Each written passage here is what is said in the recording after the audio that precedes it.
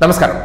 പിണറായിയെ ധാർഷ്ട്യക്കാരൻ ഏകാധിപതി അഹങ്കാരി എന്ന ഭാഷയൊക്കെ ഉപയോഗിച്ചത് തള്ളിപ്പറഞ്ഞതിന് ശേഷം എൽ ഡി എഫ് വിട്ടുപോയ മുന്നണികളുടെ ഇന്നത്തെ അവസ്ഥ പരിശോധിച്ചാൽ പരിതാപകരം.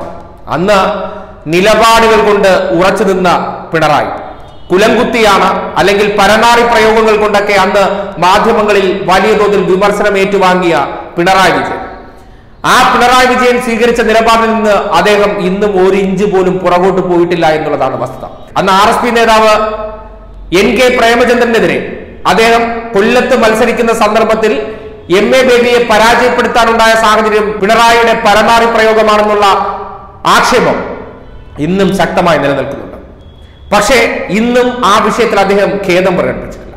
ഇതോടൊപ്പം തന്നെ പാർട്ടി വിട്ടുപോയ വീരേന്ദ്രകുമാർ വിഭാഗം. അതായത് എൽ ജെ ഡി വിഭാഗം അല്ലെങ്കിൽ ജെ ഡി എസ് വിഭാഗം. വീരേന്ദ്രകുമാറിന്റെ നേതൃത്വത്തിൽ പാർട്ടി വിട്ടുപോയ ജനതാദൾ വിഭാഗം പിന്നീട് എൽ ജെ ഡി ആയി. അവർ വർഷങ്ങൾക്ക് ശേഷം എൽ ഡി എഫിൽ ഇക്കുറി തിരിച്ചെത്തി. പക്ഷേ തിരിച്ചു വരുമ്പോൾ അതായത് യു ഡി എഫിൽ പോയിട്ട് മടങ്ങി വരുമ്പോൾ അവരുടെ അവസ്ഥ എന്താണെന്ന് ഇന്നൊന്ന് പരിശോധിച്ചാൽ കൃത്യമായി പിണറായി അന്നും വീരേന്ദ്രകുമാർ വിമർശിച്ച വാക്കുകൾ ഈ നാട്ടിൽ നിലനിൽക്കുന്നുണ്ട്. ദാർഷ്ട്യക്കാരനെന്ന് വിമർശിച്ചതും അഹങ്കാരി എന്നും ഏകാധിപതി എന്നും വിമർശിച്ച വീരേന്ദ്രകുമാറിന്റെ പാർട്ടി ഇന്ന് എവിടെ എത്തി നിൽക്കുന്നു എന്നത് പരിശോധിച്ചു നോക്കുമ്പോൾ പിണറായിയാണോ ശരി? പിണറായിയുടെ നിലപാടുകളോട് കലഹിച്ച് പുറത്തിറങ്ങി പോയവരാണോ ശരി എന്ന് ഇന്ന് നോക്കുമ്പോൾ കൃത്യമായ ഉത്തരമാകുന്നുണ്ട്. പിണറായി വിജയനായിരുന്നു ശരി. പാർട്ടി നിലപാടുകളാണ് ശരി എന്നുള്ള കൃത്യമായ ഉത്തരം കിട്ടുന്നുണ്ട്. രണ്ട് പാർട്ടികളെയും എടുത്ത് പരിശോധിച്ചാൽ എൽ ജെ ഡി എടുത്ത് പരിശോധിച്ചാൽ അവർക്ക് ഇടതുപക്ഷത്തിന്റെ ഭാഗമായതുകൊണ്ട് മാത്രം ഒരു സീറ്റിൽ പിടിച്ചു നിൽക്കാൻ കഴിഞ്ഞു. അതായത് കൂത്തുപറമ്പിൽ നിന്ന് വിജയിച്ചു കയറിയ കെ പി മോഹൻ എന്നൊരു എം എൽ എ മാത്രം അവർക്ക് അഡ്രസ്സിന് എന്നാൽ ഇടതുപക്ഷത്തിലേക്ക് വരാൻ വേണ്ടി ഇപ്പോൾ മനം മാറി നിൽക്കുന്ന ആർ എസ് പി എടുത്ത് പരിശോധിച്ചാൽ അവർ ഇത്രയും കാലം എൻ കെ പ്രേമചന്ദ്രൻ ഉൾപ്പെടെയുള്ളവർ പിണറായി വിജയനെതിരെ നടത്തിയിട്ടുള്ള പ്രചരണങ്ങൾ പരിശോധിച്ചു കഴിഞ്ഞിട്ട് ഏറ്റവും ഒടുവിൽ ആർ എസ് പി എന്ന രാഷ്ട്രീയ പാർട്ടിക്ക് എന്ത് സംഭവിച്ചു എന്ന് ചോദിച്ചാൽ അവർക്ക് നിയമസഭയിൽ പ്രാതിനിധ്യമില്ലാതായി. കേവലം ഒരേ ഒരു എം പി. അത് അടുത്ത തവണ ജയിക്കുമോ ഇല്ലയോ എന്നുള്ളതൊക്കെ ഇനി തുലാസിലുള്ള കാര്യം. അപ്പോ ആർ എസ് പി എന്ന പാർട്ടിയുടെ അടിത്തറ ഇളകി എന്ന് ബോധ്യപ്പെട്ടപ്പോൾ ഇനി യു ഡി എഫ് പാർട്ടിയുമായി സഹകരിക്കുന്നത് അപകടമാണെന്ന് അവർ തിരിച്ചറിഞ്ഞതുകൊണ്ടും ഒപ്പം നിയമസഭയിൽ അവർക്ക് ഇനി ഒരു ജനപ്രാതിനിധ്യം ഉണ്ടാകണമെങ്കിൽ കൊല്ലം പോലൊരു ജില്ലയിൽ നിന്ന് ഇടതുപക്ഷം സഹായിക്കാതെ അവർക്ക് ഒരു ഇഞ്ച് മുന്നോട്ട് പോകാൻ പറ്റില്ല എന്നുള്ള കാര്യം. എ ആസീസ് ആയിക്കോട്ടെ അല്ലെങ്കിൽ ഷിബു ബേബി ജോൺ ആയിക്കോട്ടെ ഇവരെ പോലുള്ള പ്രമുഖ നേതാക്കന്മാർ തിരിച്ചറിഞ്ഞിരിക്കുന്നു ഇപ്പോഴുള്ള മനമാറ്റം കണ്ടിട്ട് ആരും അത്ഭുതപ്പെടണം പക്ഷേ എൽ ജെ ഡിയെ തിരിച്ച് ഈ ഇടതുപക്ഷം പോലൊരു പാർട്ടിയിലേക്ക് കൊണ്ടുവന്നതിന് ശേഷം മുന്നണി വിപുലീകരണം യാഥാർത്ഥ്യമാക്കിയെങ്കിലും അതിലൂടെ ഇടതുപക്ഷത്തിനുണ്ടായ ഒരു ക്ഷീണം എന്തെന്ന് വെച്ചാൽ രണ്ട് സീറ്റാണ് നഷ്ടപ്പെട്ടു പോയത്. അതായത് കൽപ്പറ്റ പോലൊരു സിറ്റിംഗ് സീറ്റും ഒപ്പം വടകര സീറ്റും ഇടതുപക്ഷത്തിന് നഷ്ടപ്പെടുന്ന ഒരു സാഹചര്യം ഉണ്ടായി. ഇത് നഷ്ടപ്പെട്ടത് എങ്ങനെയെന്ന് വെച്ചാൽ ഈ പറയുന്ന രാഷ്ട്രീയ പാർട്ടികൾക്ക് അവരുടെ സ്വത്വം നഷ്ടപ്പെട്ടു പോയി എന്നുള്ളതാണ് യാഥാർത്ഥ്യം. ഒരു നേതാക്കന്മാർക്കും ജനങ്ങൾക്കിടയിൽ സ്വാധീനമില്ല. ആ പറയുന്ന രാഷ്ട്രീയ പാർട്ടിക്ക് ജനങ്ങൾക്കിടയിൽ വേരോട്ടം നഷ്ടപ്പെട്ടു എന്നുള്ള യാഥാർത്ഥ്യം നിലനിൽക്കുകയാണ്. ആ നിലയ്ക്കാണ് ഈ പറയുന്ന രാഷ്ട്രീയ പാർട്ടികളെല്ലാം വെന്റിലേറ്ററിൽ വീണ പാർട്ടികളാണെന്ന് പറയേണ്ടി വരുന്നത്. ഈ വെന്റിലേറ്ററിൽ വീണ പാർട്ടികൾക്ക് ജീവശ്വാസമാകാൻ ഒരിക്കലും യു ഡി എഫിന് കഴിയില്ല എന്നുള്ള യാഥാർത്ഥ്യം അവർ തിരിച്ചറിഞ്ഞുകൊണ്ട് അവർക്ക് ഈ സംവിധാനവുമായി മുന്നോട്ട് പോകണമെങ്കിൽ അതിന് ഏക ആശ്രയം ഇടത് കേന്ദ്രമാണ് എന്നുള്ള തിരിച്ചറിവിന്റെ അടിസ്ഥാനത്തിലാണ് ഇപ്പോൾ ആർ എസ് പി ആയിക്കോട്ടെ എൽ ജെ ഡി ആയിക്കോട്ടെ ഇടതു മുന്നണിയിൽ കടിച്ചു തൂങ്ങുന്നു എന്നുള്ള വസ്തുത ആരും നിരാകരിക്കില്ല.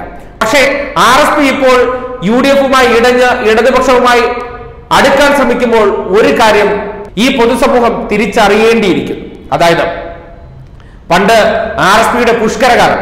ആ പുഷ്കര കാലഘട്ടത്തിൽ ചവറ സീറ്റ് ആയിക്കോട്ടെ ഇരവിപുരം സീറ്റ് ആയിക്കോട്ടെ പണ്ട് ആര്യനാടായിരുന്ന അരുവിക്കര സീറ്റ് ആയിക്കോട്ടെ ഇവിടെയൊക്കെ ആരാണ് മത്സരിച്ചിരുന്നത്?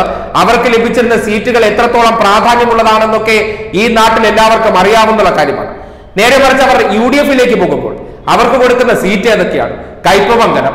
ഇപ്പൊ ചവറ ഷിബു ബെബിജോൺ കാലങ്ങളായി കാലങ്ങളായി മത്സരിച്ചുകൊണ്ടിരിക്കുന്നു. അദ്ദേഹം അവിടെ നിന്ന് ജയിച്ച് മന്ത്രിയൊക്കെ ആയിട്ടുണ്ട്. അദ്ദേഹം അവിടെ തന്നെ സ്ഥിരം മത്സരിക്കുക.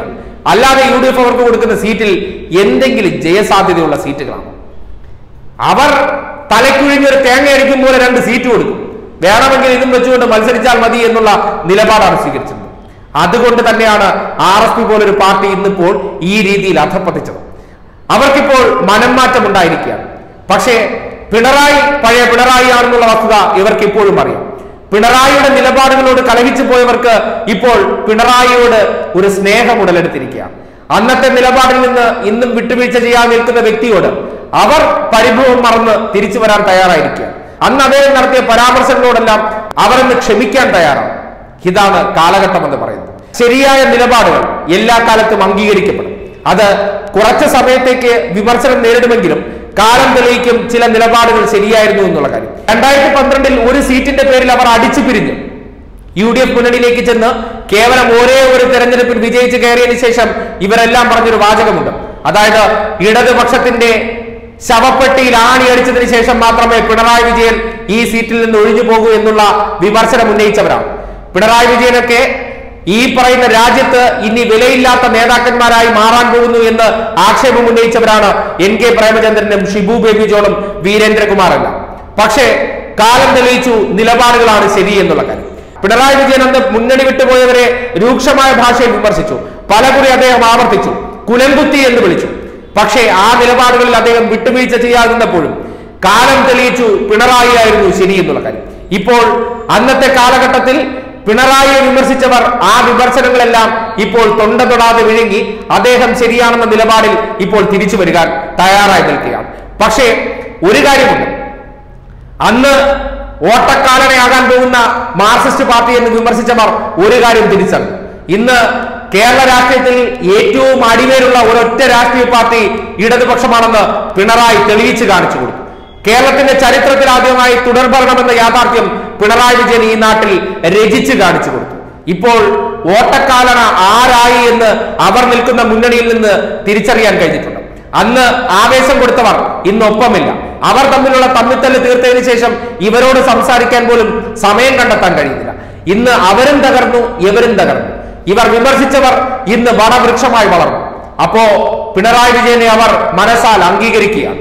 ആ അംഗീകാരം കാലം തെളിയിച്ചു വെച്ചതാണ്. ചില നിലപാടുകൾ ശരിയുടെ പക്ഷത്തു നിന്ന് സ്വീകരിക്കുകയാണെങ്കിൽ ഒരു കാലത്തും അതിനെ ഓർത്ത് പശ്ചാത്തപിക്കേണ്ടി വരില്ല എന്നുള്ള കാര്യം.